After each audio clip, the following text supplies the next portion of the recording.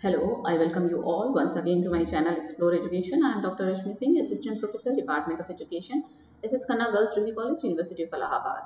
And uh, in my earlier lecture, I have discussed with you all the meaning, scope and need of distance education. And this time I am going to discuss distance education in India, its history and the assumptions and principles of distance education. Means कि भारतवर्ष में दूरस्थ शिक्षा का क्या इतिहास है और क्या एजम्पन्स uh, हैं और क्या सिद्धांत हैं क्या आ, क्या मूलभूत मान्यताएँ हैं किनको मान के बनाया गया है दूरस्थ शिक्षा और इसके क्या सिद्धांत हैं?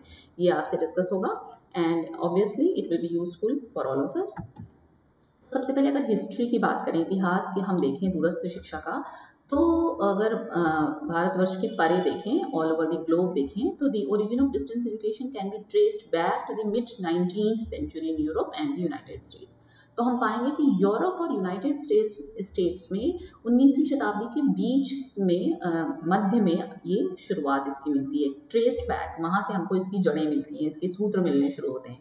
The pioneers of distance education used the best technology of the time, that is the postal system to provide distance education material.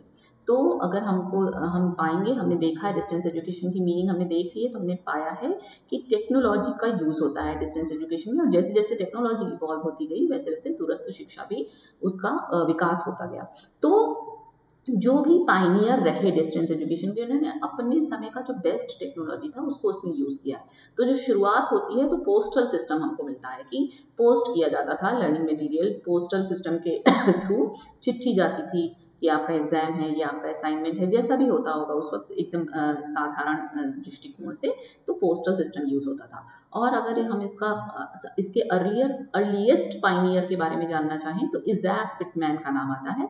Isaac Pitman is considers to be an earlier early pioneer of distance education demand by the industry government and the military in terms of vocational training push distance learning to new levels तो हो गया पहले तो भाई दूरस्थ शिक्षा का concept नहीं था, जब ये आया तो इंडस्ट्री में, सरकारों में मिलिट्री में ये मांग उठी कि वोकेशनल ट्रेनिंग लोगों को करनी है और वो कैसे दूर बैठ कर कर सकते हैं मतलब कैसे उनको जाना ना पड़े, उनका समय ना बर्बाद हो और वो कर लें तो इस इस फिलोसफी ने डिस्टेंस लर्निंग को नई ऊंचाई पर पहुँचाया दूरस्थ शिक्षा को। सॉरी और the invention of radio in the 1920s and television in the 1940s proved to be vital new forms of communication for use in distance education. और 1920 में जब रेडियो का आविष्कार हुआ और 1940 में टेलीविज़न का आविष्कार हुआ, उससे जो है वो दूरस्थ शिक्षा में संप्रेषण के हमको नए वाइटल फॉर्म्स मिले हैं फिर अगर हिस्ट्री हम इसकी देखें तो रोल ऑफ़ टेलीफोन्स अभी हिस्ट्री इसकी चली रही है जब टेलीफोन आए तो इन्होंने और ज़्यादा, देखिए रेडियो टेलीविज़न में तो आपको एक ही समय पर बात मिल पाएगी, लेकिन टेलीफोन का जब आविष्कार हो गया तो मतलब उसी टाइम फ्रेम में आपने टेलीफोन किसी को लगाया तो आप उससे बात कर सकते हैं।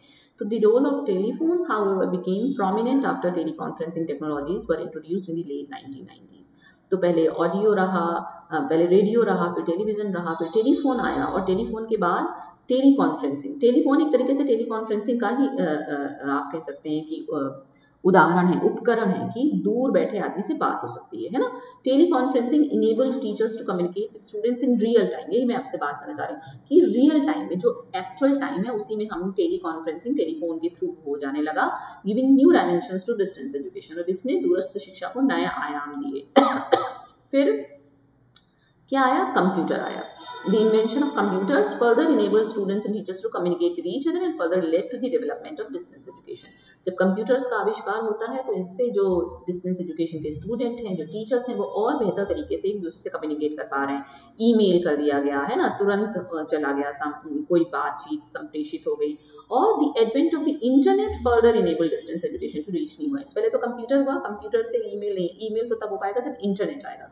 तो इंटरनेट का भी आविष्कार हो और अब तो एकदम हम दुनिया में किसी से भी, कहीं भी, कभी भी जुड़ सकते हैं और तुरंत जुड़ सकते हैं। तो today the internet plays a key role in enabling people to access distance education and has given rise to what is known as virtual learning है ना? आभासी अधिगम कि हम दूर हैं, हम शिक्षार्थी की भूमिका में नहीं है, हम शिक्षक की भूमिका में नहीं है, लेकिन लर्निंग चल रही है वर्चुअल लर्निंग आभासी वातावरण है और लर्निंग एक्चुअल है। तो यानी कि शुरुआत पोस्टल सिस्टम से हुई, फिर आपका रेडियो आता है, फिर आपका टेलीविज़न आता है, फिर आपका टेलीफोन आता है, और फिर आपका कंप्यूटर्स आता है, और फिर इंटरनेट आता है। तो इतने आप कह सकते हैं कि लेवल है डिस्टेंस एजुकेशन के। जैसे जैसे टेक्नोलॉजी इवॉल्व हुई है, वैसे वैसे डिस्टेंस एजुकेशन भी इवॉल्व होता गया। क्यों? क्योंकि बेस्ट टेक्नोलॉजी हमेशा से डिस्टेंस एजुकेशन में यूज़ होती आ रही है।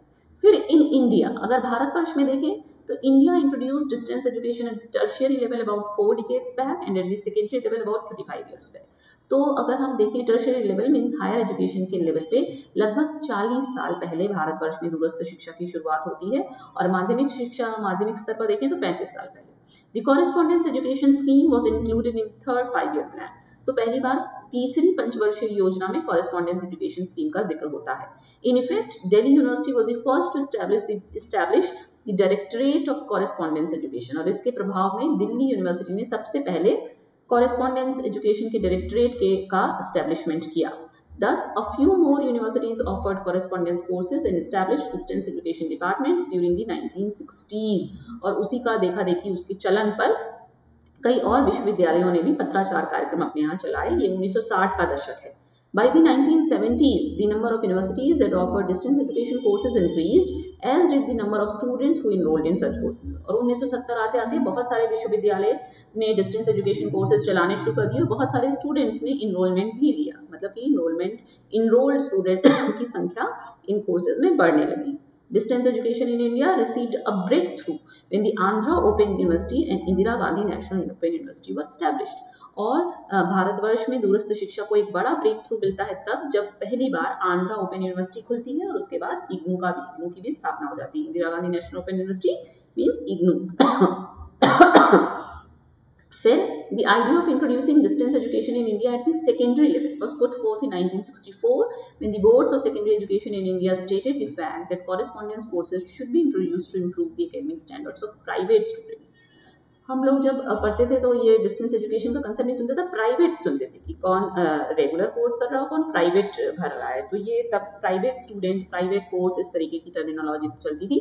तो भारतवर्ष में सेकेंडरी लेवल पे उन्नीस के आसपास बोर्ड्स ऑफ़ सेकेंडरी एजुकेशन ने ये फैक्ट ये स्टेट किया, ये लिखा, ये बताया कि correspondence courses should be introduce correspondence course चलाए जाने चाहिए जिससे कि प्राइवेट स्टूडेंट्स के एकेडमिक स्टैंडर्ड्स को बढ़ाया जा सके in 1979 with establishment of the Open School project, a major boost was provided to distance education in general and correspondence courses at the school level.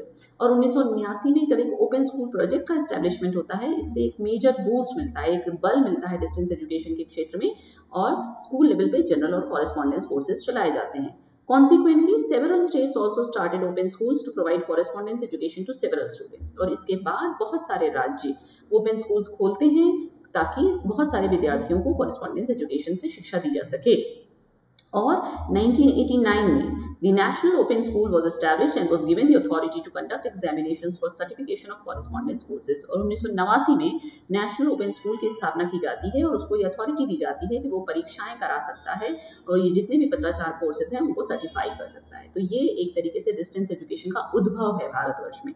कैसे इवॉल्व हुआ? पहले हिस्ट्री उसकी कैसे दुनिया में इवॉल्व हुआ, फिर भारतवर्ष में हायर एजुकेशन में कैसे आया सेकेंडरी एजुकेशन में कैसे आया? और इसके एजम्पन्स क्या है? मूलभूत मान्यताएँ इसकी क्या है?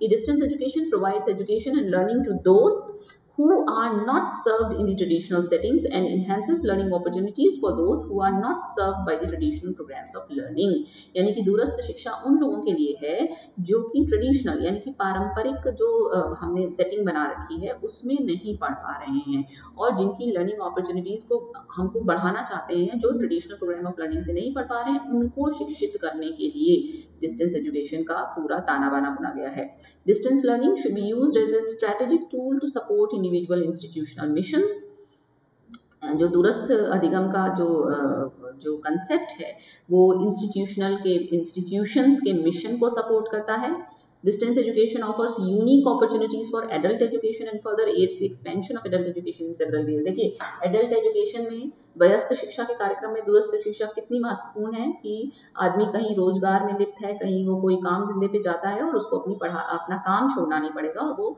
शिक्षित कोई वोकेशनल ट्रेनिंग लेना चाह रहा है, कुछ अपग्रेड करना चाह रहा है अपनी लर्निंग को, अपनी एजुकेशन क्वालिफिकेशन को तो वो कर सकता है।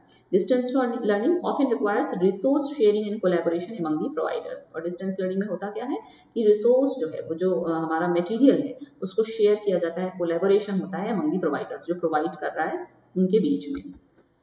फिर और क्या करती है मतलब और क्या मूलभूत मान्यताएँ हैं कि डिस्टेंस लर्निंग ऑफ़ अच्छा ये यहाँ पे रिपीट हो गया। Distance learning incorporates evolving and emerging information technologies जो भी आईटी सेक्टर में जो भी नया आया होता है, उसको इन्वॉल्व करता है distance learning distance learning is most effective in staff and the learners acquire new knowledge and skills जब जो स्टाफ है, जो सीखने वाले हैं, उनको नया ज्ञान और नया कौशल मिलता है, उसके लिए बहुत प्रभावपूर्ण है, बहुत इफ़ेक्टिव है। Any time any place and any pace is the essence of distance education ये थ्री एज की बात हम लोग मूक में भी करते हैं ना। Massive open online course any time कभी भी एनी प्लेस किसी भी जगह और एनी पेस किसी भी गति से। हमारा मन करेगा हम दो दिन में पढ़ेंगे, हमारा मन करेगा हम एक महीने में पढ़ेंगे। जैसा हमारा मन होगा, जैसे हमारी इच्छा होगी, जैसा हमारा इंटरेस्ट होगा, जैसा हमें समय मिलेगा, जो हमारी गति है, जो सीखने की गति है उसके हिसाब से चलेंगे। हम छह महीने में नहीं कर पाएँगे तो हम साल भर में करेंगे अपना सर्टिफिकेशन कोर्स इसमें ये फ्लेक्सिबिलिटी इन्वॉल्व है। Distance education plays a key role in developing and maintaining education quality at a global level यानी कि वैश्विक स्तर पर शिक्षा की गुणवत्ता को बनाए रखने के लिए, को मेंटेन करने के लिए और उसको डेवलप करने में डिस्टेंस एजुकेशन एक की रोल एक मुख्य भूमिका निभाता है। प्रिंसिपल्स क्या है इसके? कौन से सिद्धांत हैं? The principles on which distance education is based assume the practice of distance learning contribute to the larger social mission of education and training जो दूरस्थ शिक्षा किन सिद्धांतों पर बेस्ड है कि जो डिस्टेंस लर्निंग का कार्यक्रम है, वो larger social mission of education training यानी कि जो बड़ा सामाजिक मिशन है कि शिक्षा और प्रशिक्षण के लिए, उसको कंट्रीब्यूट करता है, उसमें अपनी, अपना योगदान देता है। American Council on Education guiding principles for distance learning in learning society ये अमेरिकन काउंसिल ऑन एजुकेशन ने ये हमको गाइडिंग प्रिंसिपल्स दिए हैं डिस्टेंस लर्निंग के। कौन कौन से? Learning is a life long process integral to successful participation in the social cultural civic and economic life of a democratic society यानी कि हम लोग जब एडल्ट एजुकेशन पढ़ रहे थे, तब भी हमने डिस्कस किया था कि एकदम जो नवीनतम कंसेप्ट लर्निंग का है, वो यही है। Learning is a life long process यानी कि जीवन पर्यंत चलने वाली प्रक्रिया है और हमको जीवन पर्यंत सीखते रहना चाहिए। तभी हम इस नॉलेज सोसाइटी में सर्वाइव कर सकते हैं। जहाँ हमने सीखना बंद कर दिया तो हमारा सर्वाइवल मुश्किल हो जाएगा। तो सीखते रहना। नौकरी छोड़ छोड़ कर तो आप कोर्स करेंगे नहीं। तो आप डिस्टेंस एजुकेशन के कोर्स में इनरोल होते रहिए। एक कोर्स कर लीजिए, फिर आपका मन कर रहा है एम साइकोलॉजी कर लीजिए एम सोशियोलॉजी कर लीजिए। आपको लिटरेचर से पढ़ने का मन है, उससे कर लीजिए। सीखते रहिए। कुछ ना कुछ हर विषय आपको देने के लिए तैयार है। तो ऐसा होगा तो हम क्या कर पाएँगे? जो हमारा सामाजिक ताना बाना है, उसमें सामाजिक रूप से, सांस्कृतिक रूप से सिविक रूप से और आर्थिक रूप से हम सक्सेसफुली पार्टिसिपेट कर पाएँगे। Fifth, lifelong learning involves the development of a range of learning skills and behaviors that should be explicit outcomes of learning activities. अगर हम दिन मतलब हमेशा कुछ ना कुछ सीखते रह रहे हैं तो उससे हमारी लर्निंग स्किल्स की रेंज डेवलप होगी हमारा बिहेवियर सुधरेगा the diversity of learners learning needs learning context and modes of learning must be recognised for the learning activities to achieve their goals और all members of society have the right to access learning opportunities so that they can actively take part in society देखिए हम सबको uh, institutions में शिक्षित नहीं कर सकते ये हमने पढ़ लिया डिस्टेंस एजुकेशन की मीनिंग में। और लेकिन सबके पास ये अधिकार है कि उस तक हम अधिगम की के अवसर पहुंचाएँ तो उसके लिए लर्निंग डिस्टेंस एजुकेशन ही एकमात्र विकल्प है। Participation in a learning society involves both rights and responsibilities for learners, providers, and those who manage the process of learning. Experiences should support interaction and the development of learning communities since learning is a social process. ये सब इसके principles हैं. कि जो अधिगम का अनुभव है, वो सपोर्ट करेगा सपोर्ट करना चाहिए किसको इंटरेक्शन को, आपसी जो संवाद है and the development of learning communities जो पढ़ने लिखने के अधिगम के समुदाय हैं, उनके विकास में क्यों क्योंकि लर्निंग जो है, जो अधिगम है, वो एक सामाजिक प्रक्रिया है or the development of a learning society may require significant changes in the roles, responsibilities and activities of educational institutions and personnel as well as of the learner. तो जब हम learning society की बात करते हैं जब हम knowledge society की बात करते हैं तो उसमें वो ऐसे ही नहीं knowledge society बन जाएगी उसके लिए बहुत सारे changes आने पड़ेंगे किसमें आने पड़ेंगे changes जो educational institutions हैं educational personnel है मतलब जो teacher है जो आपका school college है उसके जो roles responsibilities और activities हैं उनमें change आएगा as well as learner में भी change आएगा जाएगा तभी जब लाइफ लॉन्ग प्रोसेस को हम अंगीकार कर पाएँगे तभी हमारी जो आ, मतलब सही अर्थों में जो हमारा समाज होगा वो विकसित समाज बनेगा और इसके लिए डिस्टेंस एजुकेशन इसी प्रिंसिपल पे बेस्ड है कि हम एक लर्निंग सोसाइटी के निर्माण में अपना योगदान दे सकें। ओके ये है डिस्टेंस एजुकेशन आपके कोर्स में है। हमने पहले आपसे उसका मीनिंग नीड और स्कोप डिस्कस किया, फिर हमने आपसे उसकी हिस्ट्री डिस्कस की, कैसे कैसे टेक्नोलॉजी इवॉल्व हो रही है, वैसे वैसे डिस्टेंस एजुकेशन भी इवॉल्व हो रहा है। और हिंदुस्तान में अगर देखें तो आंध्र प्रदेश आंध्र प्रदेश में सबसे पहली ओपन यूनिवर्सिटी खुलती है उन्नीस में।